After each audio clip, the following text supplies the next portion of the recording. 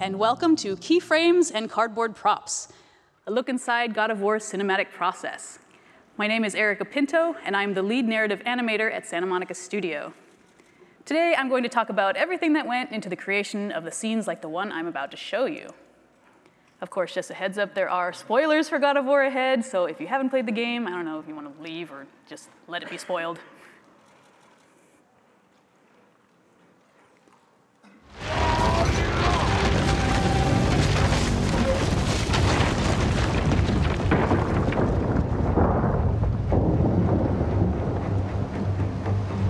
It is time, my son. Look around at what you have done.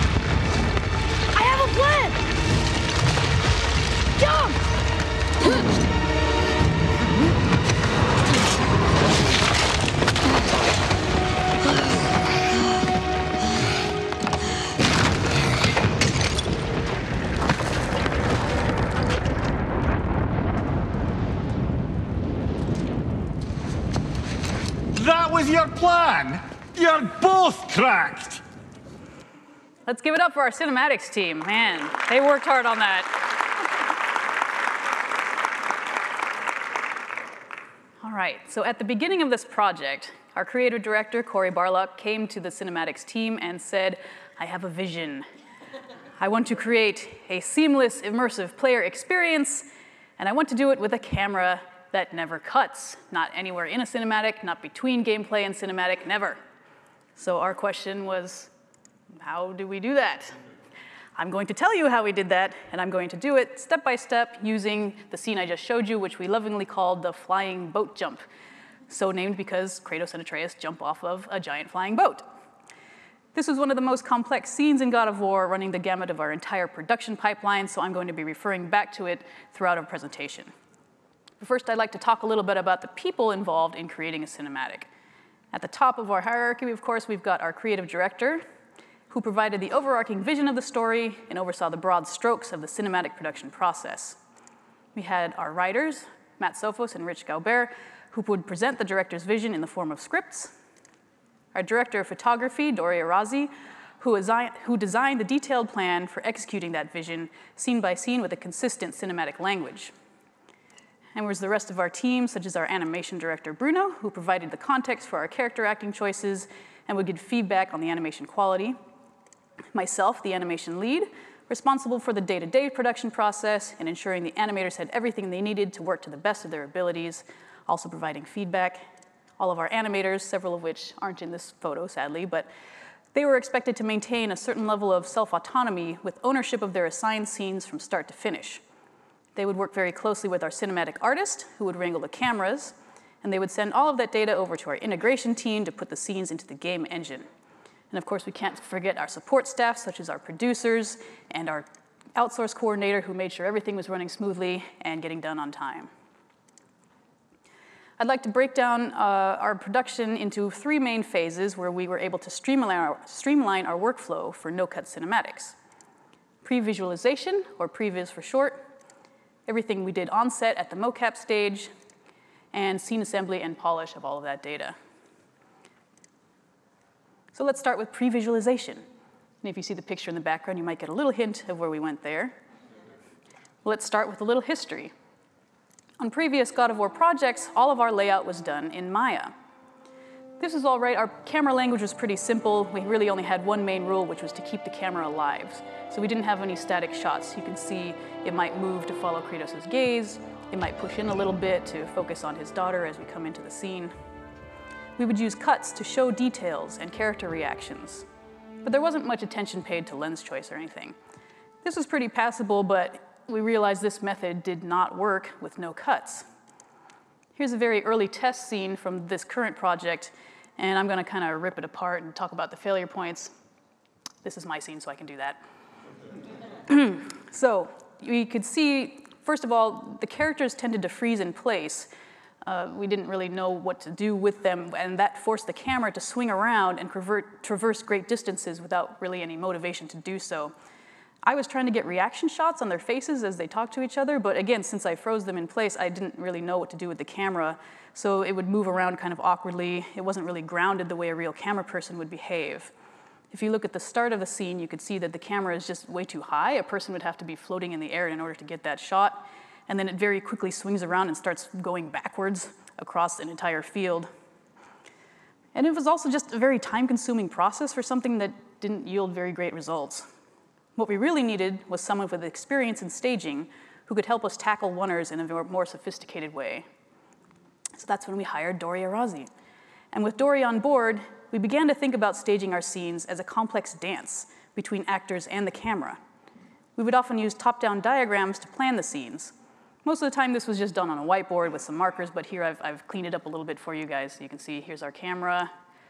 The red dot represents Kratos, and he's carrying a boar. The green dot over here is Atreus, and the blue dot is Freya, and they're all going inside their giant turtle house.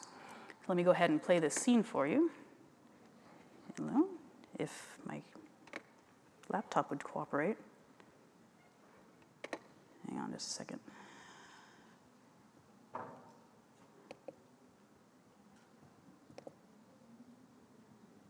On, don't break on me.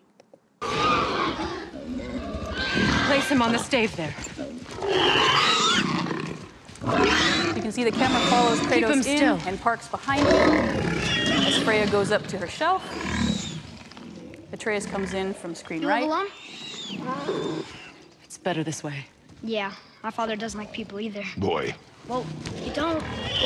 Freya comes him back still to meet before he them, hurts himself. and Atreus kind of moves off to one side and stays out of the way. And you'll notice that the camera is constantly doing minor little movements Rest to shift the focus from one character to another. I need two more things. Fresh red root grows just behind the house. Can you pull a cluster? You'll see Atreus will go off screen, and then the camera moves and else? parks behind them again to let Freya and Kratos have their little heart-to-heart Hi. moment. I know you're a god. Not of this realm, but there's no mistaking it. He doesn't know, does he? About your true nature? Or his own? that is none of your As they get up, concern. you'll see The Kratos gods of these realms don't take left, kindly to back to outsiders, trust me. As they go and move I up to know. the shelves. When they find you, and they will, they'll make things difficult. And then for you film The lovers out there, this is our little homage to Citizen Kane. Whatever you're hiding, you cannot Brought protect him Atreus in forever. into the back, but kept him in focus. But you're right. Doesn't concern me. Now, if that staging diagram got a little crazy and looked a bit like spaghetti, that's because, well, staging a oneer is very complicated. All right, so we had our diagrams and our staging ready, but how do we actually create the previs? Well, animators might recognize this sort of thing. we often shoot reference to see how our body mechanics work and get a sense of timing. Most often, we just set a camera down somewhere and shoot ourselves. This was Sophie Evans getting some cool Kratos motion. And this works great for our gameplay animators. They use it to, you know, figure out new moves. And the cinematics team was wondering, well, how could we leverage that for our cinematics? Could we take the camera off the tripod and start shooting scenes with it? Yes, you can. Some of the benefits of this were we could easily test different styles of camera, and Dori wanted to try a documentary style, you know, more grounded and, and using handheld. It took very little setup time. You could just grab an SLR, grab a couple animators, go outside and shoot. It was very quick to review. We could shoot in a couple hours, do a review with Cory, and do reshoots within the same day. you would get a lot of surprising human interactions just riffing off each other from take to take that you might not think about when you were sitting at a camera at, a, at the computer doing layout in Maya. Plus, it's just a lot of fun. You know, you get out of your chair, you get a little exercise, you look a little ridiculous, you confuse all your neighbors around you, and it's pretty awesome. Some of the challenges, of course, are memorizing lots of lines. We had several very chatty characters in this game, plus learning that complex choreography I just showed you, and since we had no cuts, the animators had to keep all of that in mind while we were shooting at once.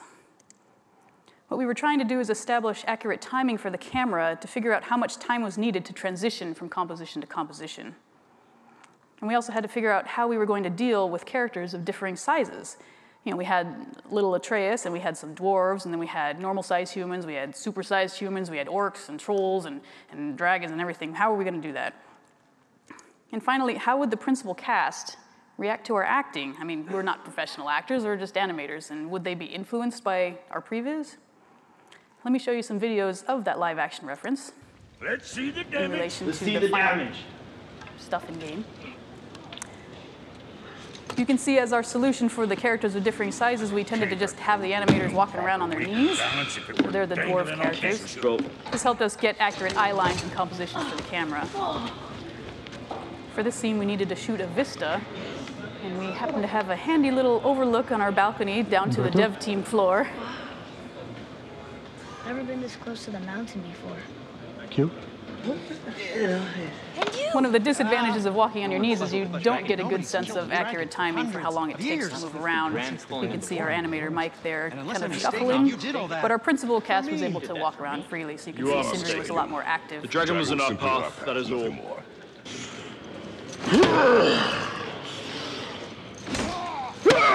more.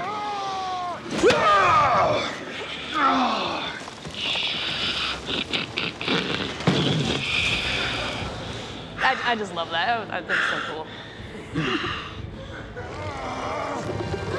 This was one of our earliest tests when we had extra time, so we went out of our way to build a giant ogre. Our animation director got in on the fun. But even then, we were still trying to get some real work done, and Dori wanted to test this camera move where he kind of snuck in between us, and then we parked in front of him, and it worked out pretty well. So let's take a look at the live action reference for the flying boat jump. Action. You can see we had a prop, just a tripod. Originally, we were going to start the scene with some kind of a lever pull, but in the end, we ended up going with a player interact where you're trying to push off the broken piece of the ship. Here, we're trying to get a sense of the timing of the VFX, that mist that's coming up along the floor and, and sliding over to reveal Zeus It is time, my son. following the mist over to the hallucination Kratos. And with this previs, we were able to quickly test whether this transition from third person camera to first person camera was going to work. And back to third person. Aviani, everybody. he was great. Very bewildered Atreus. And back to our first Come person on, camera. we gotta go. Oh, never mind. Look! And back to third person. And when Dori realized that this was going to work, we all got really excited, and it was it was great to be able to see it this early in our previous production process. There, there's our barrels Got an idea. rolling down the street. Jump! This also let us quickly figure out how many takes we were going to have to shoot on stage. You can see right there we cut, and that was going to be the end of the first part, and then we would do the second part of the landing with some hand-keyed stuff in the middle of the scene. And up you guys go. That was your plan? You're both cracked.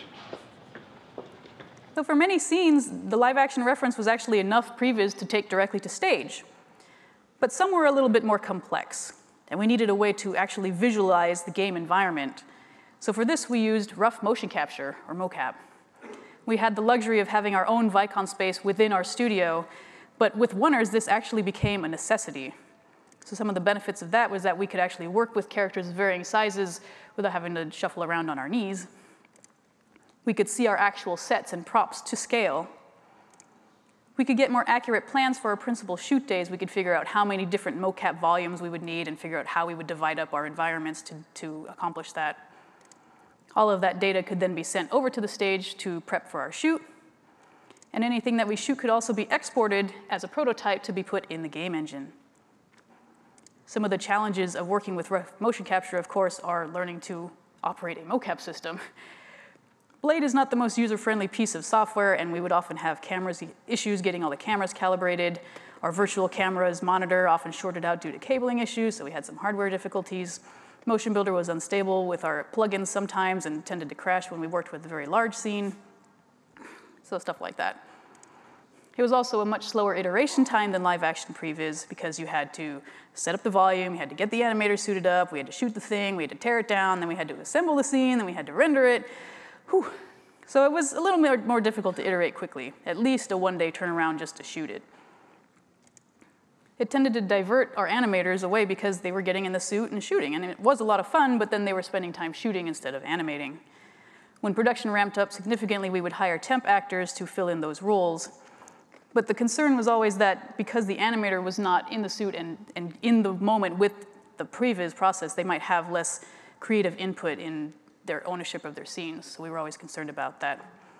We're thinking of maybe ways to involve the main owner of the, of the scene, but then hire temp actors to fill in the rest of the characters for the scene. Here are some examples of where we used rough motion capture for our previs. I sure hope you know what you're doing. This scene was important because we needed to see the relationship of the table and the characters and the location of the fireplace and the cauldron within her house. So we really just wanted to see where everything was and also figure out how Kratos was going to dunk the head in there. And you'll see in the rough mocap, uh, the arm was kind of obscuring him, so we opened it up for the final shot. This was a test of how we might shoot some very large characters. We, we just marketed up a cardboard box and puppeteered that guy around. Is a corruption of magic. Even this was important to actually see the environment, that face in the mountain, and figure out where we were going to place our characters in relation to the scene. It's everything. What does this mean to you? So going back to flying boat jump again, this was our rough mocap previs. Zeus beat down, take one. This was shot pretty early uh, in the production of this scene, so you'll notice that the entrances and exits hadn't been figured out yet. Kratos is coming in Face from me, a father. strange location. Time to end this! Yes, my son. But really, the purpose of this test was to see how this composition would look with the two ghosts and the boat in the background and having Atreus standing there. And, and, was everything going to get too busy, or could we, could we frame it so it looked really nice? So we're, we're really looking at this composition in particular.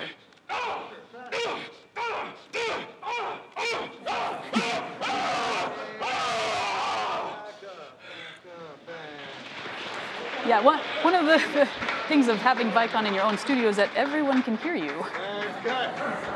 Thank you! They were usually pretty good sports about it, though. I'd like to talk a little bit about the importance of business, which is basically giving your characters things to do. This is something movie folks understand pretty implicitly, but some, can sometimes be overlooked in games, especially when we just have so much content we have to crank out, you know, hours and hours of content. But again, when we had no cuts, it was very important to give our characters things to do because this gave us opportunities for the camera to look away from the characters. Again, we can't do cutaways, but having something for the camera to look at and motivate to look away from the character's face was important. Business would also provide motivation for getting the characters to move through the space. And if you think back to our early tests where the characters were kind of freezing and that caused the camera to swing around and do weird stuff, giving them business helped move them. Finally, you could get a lot of nice nonverbal insights into a character's personality by giving them stuff to do. And this would help our actors get into character and stay in character throughout the, the scene and, and not worry about what to do with their body. So these are some examples of giving our characters business. You can see we put Freya up on a ladder and messing around with some herbs to help sell her character as a witch of the woods.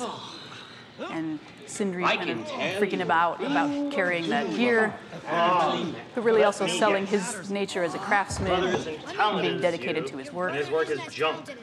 And his work is junk. Those things are um, Those accurate. things are accurate. Your point? Point? Well, you already soiled my I just love the idea of Brok eating something, and I won't spoil where he got that meat from, but if you play the game, you will find What I'm out. offering. Not what I was Saw your brother again.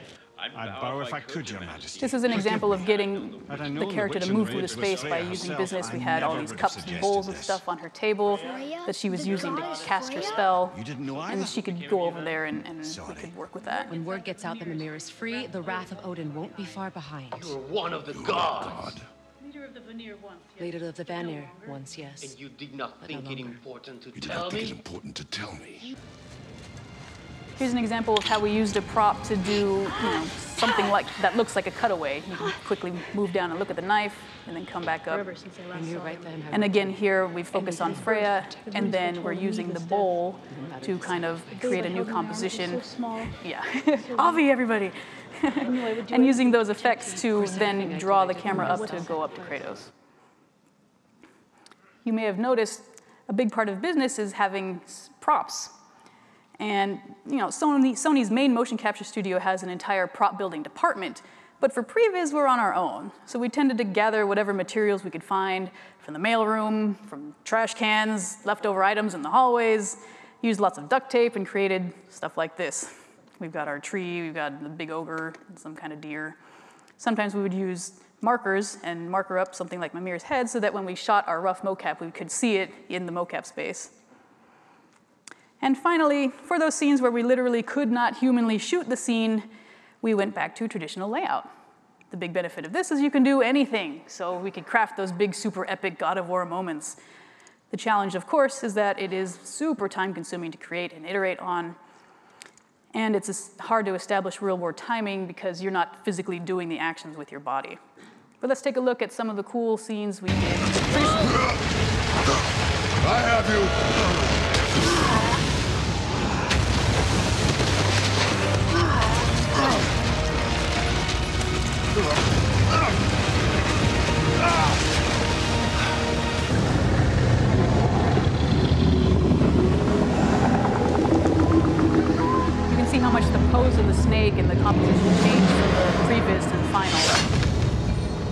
Also having Kratos pick up the axe with his other hand so he could keep it on frame, since that was pretty important. This is great!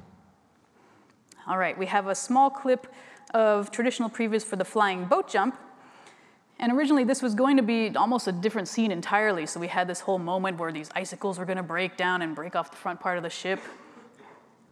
But then the rest of it is, is pretty similar to what we ended up shooting and animating for the final product. We've got the barrels rolling down, or whatever that is. And then they crash. And an interesting thing to note here in the original previs is that Kratos jumps first, so it was, it was a cool change to have Atreus lead the way in the final version.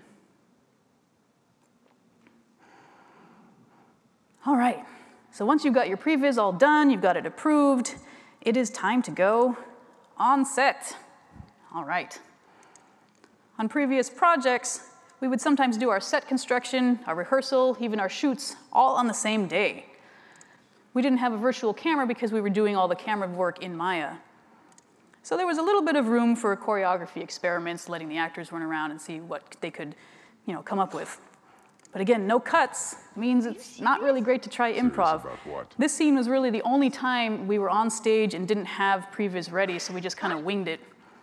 And you can start to see some of the same failure points you, we encountered in our early tests. What is it, boy? Some very unmotivated camera motions because the the actors had frozen and Dori needed to go and see their faces, so we just kind of swung around to try to get their reactions. It's going away now. And then we had to swing back around because we had to get back to game camera. Angry. So there wasn't really any motivation for that move either. But we wanted to see Atreus' face and we needed to get back to the game. In the end, this data, I don't know, we just didn't like it, so we ended up throwing it out. And we did a proper previs pass and we came back to the stage later. It also helped to have more context for where this scene was taking place. And it was taking place in a boat. I said nothing. All right, let's shoot some previs for the boat. What is it, You boy? can see here we were able to figure out how to get the actors to face the camera. You don't hear that? Dori was able to do some more thinking about how he wanted to do the lensing, It's going away now. and we would do a zoom in and It get a was really nice intimate shot here. Lots of voices. Angry. You really didn't hear that? We had this nice moment with them. It felt evil. And then we could use the motion of Atreus turning to sit back down on the boat as motivation for the camera to move and get back into the game camera. So again, every scene had to be meticulously planned. So no more winging it on the set, have previs every single time. Another big aspect of not winging it was breaking up our mocap shoots and having a specific tech day. So no actors on set, just the animators and, and Dori and everybody who needed to be there to review our exported data and our videos from the previs process with the stage crew, discussing and reviewing any props we would need for the shoot day, dividing up our volume space, figuring out what sets we wanted to construct, laying down tape for all our major choreography beats, and this was useful when we had our mocap previs, we could actually measure that in Motion Builder and get that all down. And finally, just go over our shot list, finalize any last minute details so that when the actors showed up, they were ready to go and we could just start rehearsing. Now, getting those assets to the stage for Tech Day posed a little bit of a challenge, and that's where we had our tech artists give us an assist. They wrote a tool for us which we called the Maya to Motion Builder tool, and that allowed our animators to export our proprietary animation rigs into Motion Builder at the correct scale and orientation, and we didn't need to bake anims or anything, so that saved us a lot of time. One of the big pain points, however, was exporting our environments into Motion Builder. See, on our project, we use a proprietary thing called ref nodes, which are similar to like Unity prefabs, and those needed to be converted to regular geometry in order to be compatible with Motion Builder. And this was a very slow process. I mean, there's just hundreds or thousands of assets in just this one piece alone, the house. That converted geo then needed to be parented under a node so that it could be moved from world space to the mocap space, which is mm, like that green space there at the origin, and then back again after the shoot. And this was all done by hand, so there was lots of room for human error, especially when onboarding new team members. So we're now developing an automation tool similar to Maya to Motion Builder, but for converting environment geometry.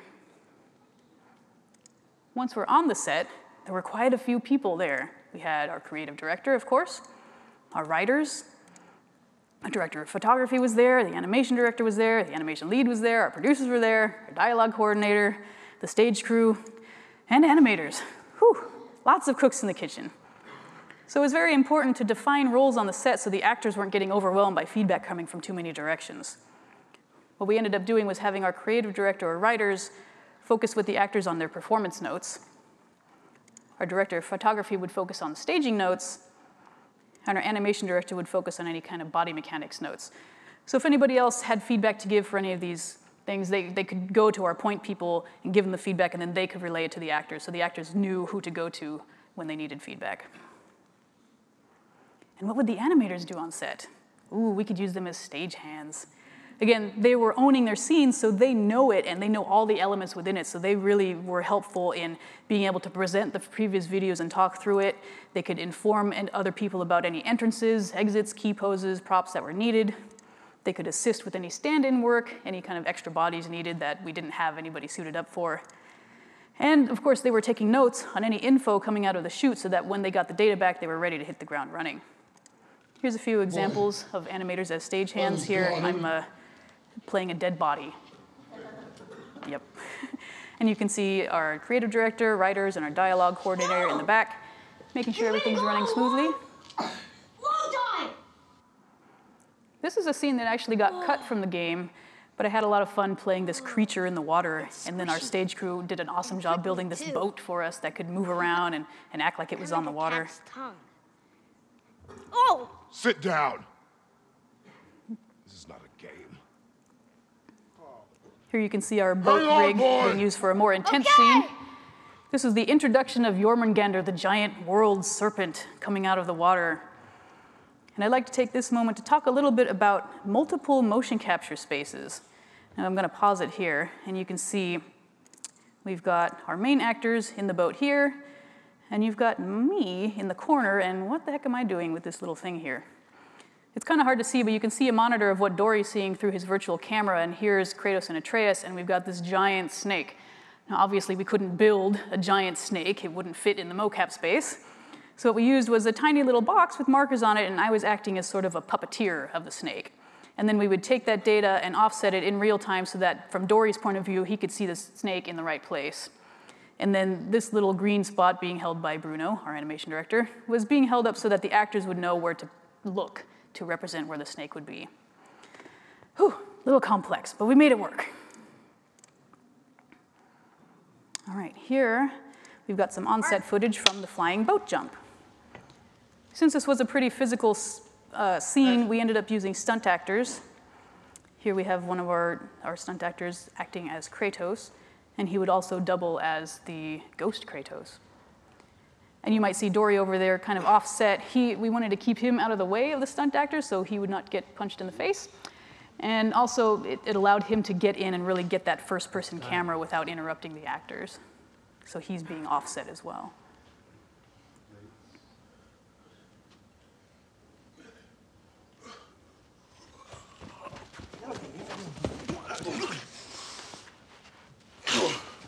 Like I mentioned when we did our live action previs, we were going to break it up into multiple pieces.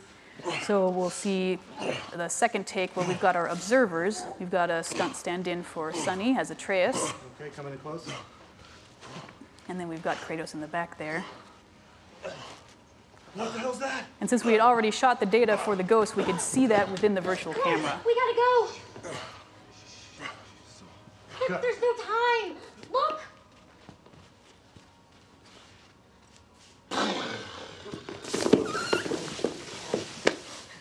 Oh. We hadn't animated the barrels yet, so we just kind of Dodge. pretended. And go. I got a plan. Jump. And then here's where we cut, and we go to the traditional animation for the big fall, and then we have our final take where they land, and you know the rest of that scene. Now, what is your plan? All right. So after everything is done and shot, it's time to get all that data back and assemble it and polish it. And the first part of that is editing. I know what you're thinking. What? Editing? Why are you editing a oneer? It's all one shot. Well, we tried to avoid editing as often as possible because it's exponentially more difficult to blend two takes together versus cutting. But sometimes you have to account for multi-volume scenes for very large environments. Sometimes you have to think about unintentional mistakes that might have happened on set. Maybe you're getting a really good take, but then there's just one line that the actor flubs, so you want to just do a little insert there where he, they get the line right, and then you'll just merge those two bests together. Sometimes we need inserts for clarity or script rewrites. Occasionally, we'd have a play test where the players would give feedback that they didn't understand what was going on, so we might do some rewrites and, and shoot something to help clarify that scene. Also, timing passes. In case a scene was running long or needed some extra time, we would insert or cut things down. cut, yeah. Also, any changes to level design or environment art, like you, you saw in, in the mocap previs, we hadn't figured out the entrances or exits. So sometimes once we nailed that down, we would do a quick reshoot and get those entrances nailed down and blend that all together. Challenges of editing, editing. We had some limitations with Maya eh, because blending takes together is hard. We weren't having too much luck with the tracks editor, so what we ended up doing was using Motion Builder's story tool, which let us edit pretty quickly and get some macro edits going. And then once we were happy with the rough timing, we could then work on anim layers and constraints. Now there's a bit of an art to choosing where to edit. You're trying to find the best blend. And what you're looking for is character position and pose, whether they match pretty closely across two different takes. Of course, also the camera position. Again, because we're not cutting, you need to make sure the camera's in a pretty safe place so that you're not getting some weird motion once you're going between the two takes. It's a bonus if your carriages are off screen when you're doing the edit because then you don't have to worry about blending them together. Oh, let's take a look at our story tool for flying boat jump. Yeah, I know it looks a little crazy. Let me break it down for you. These two tracks represent the ghost, Kratos, and Zeus. And what we were doing here was working and getting those punches looking really good and physical, so we did a bunch of edits for timing. Up here we've got Atreus. This is about the moment when he pushes through the two ghosts, so we, oh no, why is my battery not? I'm sorry, let's plug that in. All right, here we go. this is where Atreus is pushing through the two ghosts. We wanted to make sure that felt very physical. Here we actually ran out of data, so we were copying and pasting extra punches. Yeah. and here we've got a little take of Atreus. This is probably an old screenshot, and they were probably going to insert that up here to help Atreus slide. And let's go ahead and play this shot, and you can watch it, go along with it. Here's those physical punches.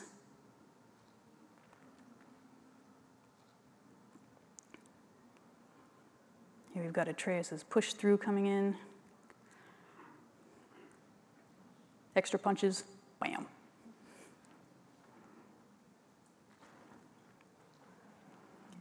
And this take of Atreus sliding down. All right, Some results of that. Of course, the ideal was always to get our scenes nailed down with one perfect take, but it ended up that over 50% of our cinematics needed major editing or reshoots or merges. And all of our cinematics required at least some minor edits to accommodate our finalized environments, make sure our pose were matching, etc.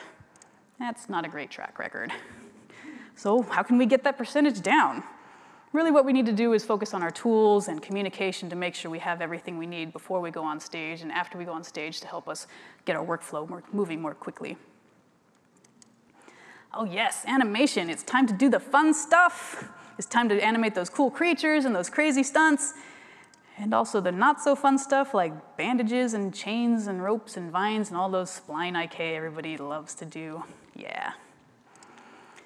Ah. When you're using cuts, it's often simpler to compartmentalize your thoughts into smaller task chunks and focus on one shot at a time, such as this, you know, 150 frames, that's not too bad. You can keep track of what your curves are doing there. But with very long oneers like God of War had, the animators had to keep the entire scene in mind while they're making edits.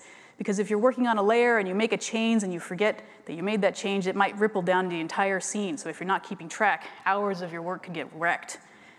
The actual process of animating is the same as it's been for years, but the mental focus required grew quite a bit. So let's take a look at some of our awesome hand-keyed animation. Espera, loca.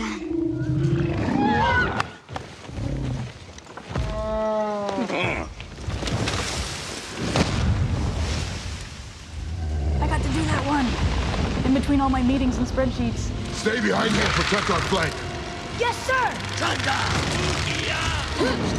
And of course, our flying boat jump.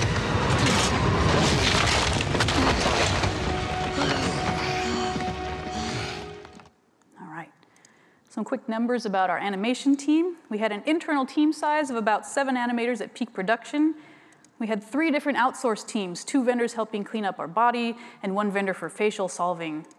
But our internal animators would have ownership of all the scenes, including our outsourced ones, so that they could assemble the outsourced data and make sure everything got integrated and keeping track of the debugging process. In hindsight, we wished we'd had a larger internal team because as our contractors rolled off, we would have to transfer ownership of all those scenes to all our remaining team members. And we had over 100 cutscenes to keep track of, so that was a lot. Also, just tracking the sheer amount of content and scope creep, we had a lot of level design asks that weren't originally in the script, but we would, you know, we would need to help tell the story of level design as well. So now we take into consideration all of our narrative moments and not just cinematics as we work out our scope and our schedule. Onto our polish, we had what we called the buttery smooth. And what this was was just really troubleshooting those seamless transitions between gameplay and cinematics to make sure our no-cut language was working. The main things we were looking for was pose matching, and that seems pretty obvious, but it's important to establish those standard poses, and anytime it's changed, make sure you communicate them widely across the team. Make sure your pose library is updated, and see if you can find some tools that helps the animators match poses and animations across your scenes and characters matching the velocity of the gameplay animation into a cinematic and back out. Each of our characters had a zero joint that indicated their position in the game. And in the case of Kratos, the player, the camera is also attached to that zero joint. So any kind of errant motion was going to cause some weird jarring camera blends. The zero joint's velocity also informs the engine of what state the character should be in, whether he's walking or running or idle. So if it's not matching the actual action of the scene, if you've animated your cinematic so Kratos is running out, but your zero joint is frozen, then the game engine thinks he's standing, so then you're gonna see him pop into an idle pose at the end of the scene. Finally, thinking about metrics. For any interactable objects such as doors or levers, we need to get those exact metrics set by the gameplay team for how close the player should be to that object at the start of a cinematic. Here are some issues with buttery smoothness. You can see this magical door we hadn't figured out the metrics of where the player should stand, so you'll see Kratos actually walk backwards as he's starting the cinematic. Oh, or not. Let me do that again. Here we go. Yep. Whoop.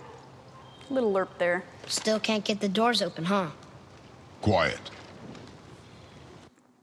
Here you can see some of our debugging tools. You can see there's a little arrow down here showing the velocity of the zero joint at any time. We're trying to debug why those pose mismatches are happening. this scene, you'll notice that the log and Kratos become out of sync. Oh, what's that sliding all about? Let's go into that debugging tool, and you'll see that at some point, the log's zero joint stopped moving, so it thought that it should not be moving forward, while Kratos kept walking along. So just taking care to do all of that buttery smoothness. Here are some issues with the flying boat jump. There was kind of a position misalignment and we didn't have any transitional motion to get the player into the place where they needed to be, so that. And also for some reason it wanted to play that part twice. I don't know. At the end, the, the lighting hadn't been put in yet, but you can see that there's a pose mismatch here between the normal idle and the combat idle. In this particular iteration, Kratos flew off into space and then, and then aligned up with the ship. The zero joint also, uh, if it wasn't in sync with the body, sometimes there were cloth physics problems because it thought that the character was somewhere else. So you would see his skirt would flip out there. And again, pose mismatches. This was uh, always the pops between the end of the cinematic and the gameplay. Here you might see the characters drop, drop down. That might be because IK or collision's turning back on and we haven't quite aligned them to the ground plane, so we're trying to figure out where that's going. Another big part of polishing our scenes were armor variants. We, Kratos has many armors. And again, because we can't cut, we can't hide any armor swaps on a cut to get into our cinematics. Some problems with that were, of course, obstructing your face. We need to be able to see Kratos' face during certain cinematics, but certain pauldrons would obstruct it, and you know, that's troubling. Penetrations, we'd have stuff going into other parts of the body, other parts of the armor. This was a pretty extreme example. I don't think this was ever actually in any cinematic.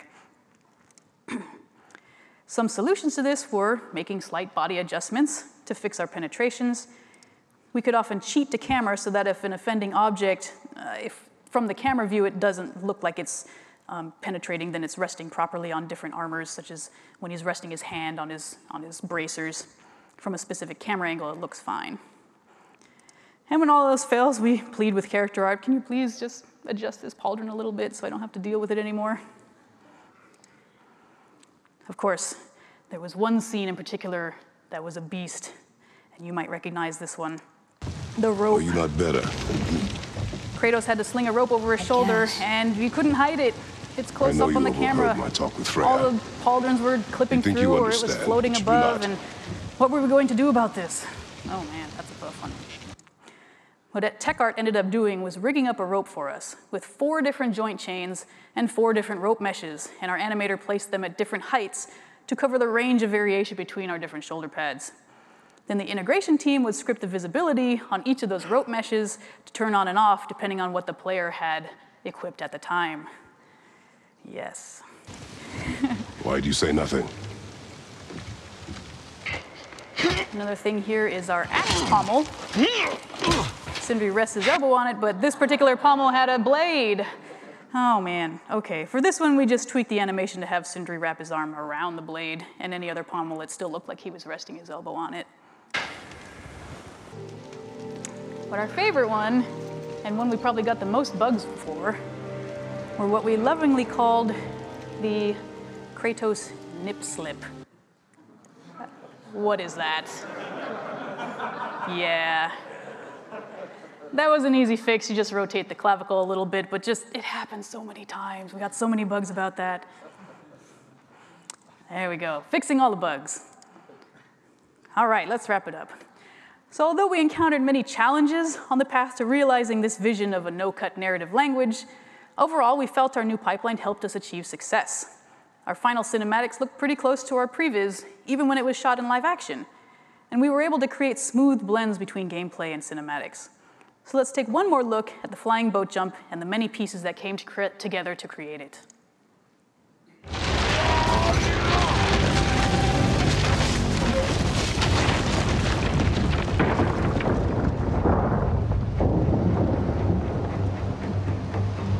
It is time. Look around at what you have done.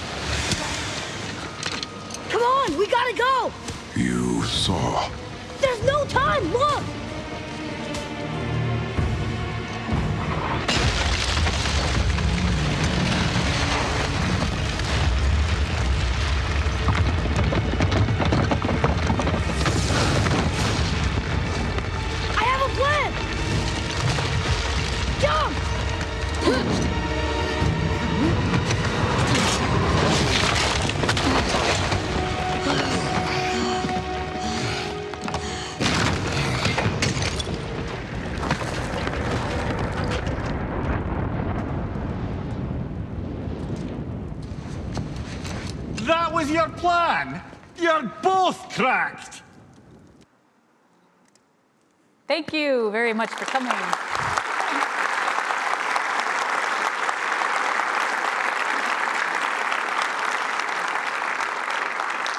We have some time for Q&A, so we've got a couple microphones here if you want to come up and ask me any questions.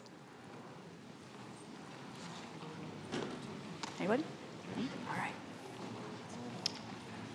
Hi. Hello. Thank you for your presentation. Thank you. I'm Christian. Um, so I had a question, two questions. One, did you guys use VCAM um, like all the way through to the final cutscenes? Um, yeah. Uh, yes, well, when we shot live action reference, we wouldn't have the VCAM, we would just be using an SLR, but anytime Hmm. we were using rough mocap and uh, on the stage, we would always have a virtual camera on set, yes. Yeah. Did did the the virtual camera actually help you guys translate what you were doing with the VCAM to the the final cutscene you would get in the game? Yes, I mean, the data was being recorded from the virtual camera, and then Dori could take that, and, and he and the cinematic artist would take that data, and they, they would do some cleanup by hand in Motion Yeah. Builder to get the final look and do some minor adjustments here and there, but the, the raw data from the virtual camera was always the baseline for that. Cool. And then, um, as far as studio-wise, like, do you guys enjoy this process of, with the motion capture, the VCAM, and will you use it again on future projects? I think it's a lot of fun. I think now that we've got our pipeline set up, it's definitely a tool we can use in our pocket whenever we can. It's really helped streamline our previs process and helping us iterate as quickly as possible. So it's definitely something I want to keep using, yeah. Cool. Thank you. Thank you. Yes. Hey, thank you for the talk. Um, another question about VCAM. Uh, can you tell, uh, like, say something quickly about uh, this deciding between, uh, like, shooting VCAM with the actors on stage, or shooting it offset from the actors, or shooting it separately? Uh, most of the time, we would try to keep the virtual camera in lockstep with the actors in actual space. Uh, for Flying Boat Jump, it was just an issue of Dori really wanted to get into the, the shot he wanted for the first person thing, so that's why he requested an offset, so he didn't have to be like right on top of the stunt actors while they were doing their stunts. But most of the time, the camera and the actors were in the actual space we wanted them to be in. Cool, thanks. Um, are you using uh, facial capture? Are you using Motion Builder story mode to blend both facial capture and body capture together?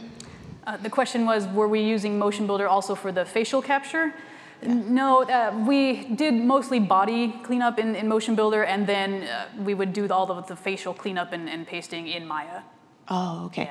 And then um, also, um, what was the frames per second when you're ma- making the cinematics in Maya or Motion Builder? Uh, we would shoot at 30 frames per second. Yeah. Thank you. Thank you again for, for the talk. It was super informative. Um, how much of the team came from more of like a cinema background, and how much interplay was there between cinema games, and what kind of challenges from the game side versus maybe a more cinema side that did you have to kind of consider? Mhm. Um, for our animators, we, we tried to hire specifically for cinematics, so people, if they hadn't gone through film school or anything, that they at least worked in cinematics on previous games. But our real rock star was Dori Arazi. He comes from film and he's done a bunch of stuff, and he had the eye for doing it, so he was really driving the look and feel of our scenes. Hi. Uh, could you tell me a little bit about uh, why you created the tool for Maya into Motion Builder? I'm a little more familiar with like Motion Builder to Maya, but Yeah, uh, uh, because mo most of the time we're animating in Maya, all the gameplay animators work in Maya, and all of our rigs are set up to work with Maya, and we have several tools, and just the way that the rigs are built to work with those tools, it makes it a little more proprietary and harder to translate directly into Motion Builder one for one. So the tool was just a way to get those proprietary nodes kind of stripped out and, and locked down and putting it into Motion Builder. And it also goes both ways. So we would go then from Motion Builder once we cleaned up back into Maya and back onto our proprietary rig so we could keep working. Okay, so like easier for pose mashing and uh, yeah. in motion. Well, and also our rigs in Maya are at a different scale. They're not one to one in uh, meters or, or, whatever. So we would have to scale everything up when we brought it into Motion Builder and scale it back down when we came to, into Maya. Okay, cool. Thank you. Hi. Uh, I have a question because I noticed that the stunt was a woman and the main actor for uh, Atreus was a, a child. Mm -hmm. And did you had some trouble with the difference of the performance?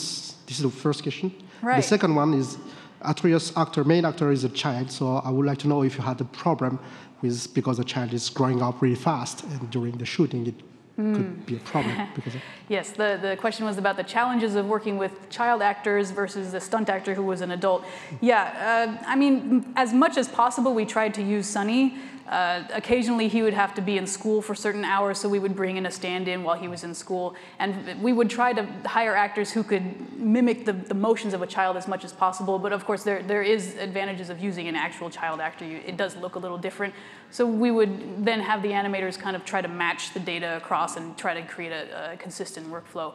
Um, as for Sunny growing throughout the production process, that, that was a concern. Uh, it didn't affect us too much. He did grow an inch or two, but it, was, it wasn't enough to cause a, a big problem for us. Yeah. Okay. Thank you. Mm -hmm. All right. Before I let, oh, yep, go ahead. Hi, one last question. Um, great talk. Um, you mentioned cinematic artists, I believe, doing mm -hmm. cameras. Mm -hmm. uh, how big was that team? How many, how many people? Um, I mean, Dori was doing a lot of work, and then he was able to bring in a second person to help him out. Uh, we had a third person who was helping out with the VCAM on set, and then the, the other one was focused mainly on motion builder cleanup. Um, yeah. Thank you. Mm -hmm. Hi, um, my question maybe would have been better for Dori, but like maybe you can help me out with it because I was wondering with the single cuts, like with the no cut um, directing that you had, like mm-hmm. that tends to be kind of exhausting for long periods of time, like as a as a spectator. Yes. So no, like, what did um, like how did you guys like sort of make it so that you could actually play the game for you know the way people play, which is several hours generally, if you can, like you get into the story and not have you be exhausted by the time you're finished.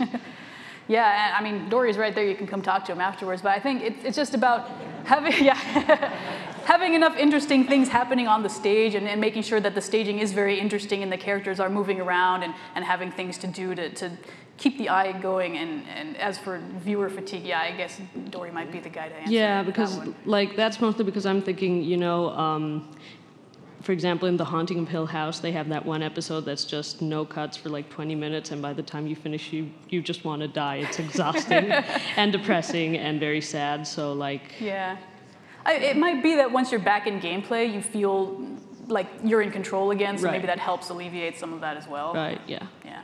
Okay. Well, thank you. Yeah. Thank you. All right.